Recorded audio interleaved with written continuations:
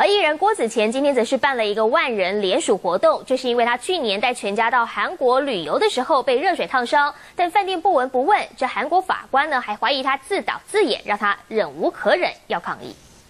一二三，开！上百位艺人挺身而出，为郭子乾发出不平之声，包括主持界大哥于天、曾国成、妥中康都来力挺郭子乾。我觉得他们恋爱他们的国家，可是不能矮化我们这个国家。大家不要漠视这件事情。今天是郭子乾出事，明天可能就是你，不要置身事外。这次在台北车站大厅发起万人联署活动，已经超过三千人签名支持抗议韩国荒谬的判决，严重侮辱到我郭子乾的人格。郭子乾也强调，并不是要操控族群，更不是要呛韩国，只是要求一个公平和正义的判决。经过一年九个月，对于自己遭韩国司法反诬陷的案子，真的是忍无可忍，不愿就此终结。希望不要变成永久的历史案例，因为如果变成永久的历史案例，以后。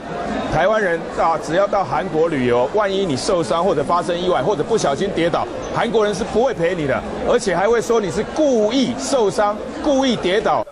去年郭子乾带全家到韩国玩，在一间五星级大饭店不小心被底部破损的热水壶烫伤，导致大腿八成面积二度灼伤，严重到坐轮椅回台湾提告求偿，却反被韩国法官驳回告诉，质疑他是造假，认为他是使用热水瓶不当，甚至还说他是自己故意烫伤。万人联署活动就是要唤起社会大众的重视，希望不要再有下一位民众发生同样的遭遇。追求阿布斯 N G 小组台北综合报道。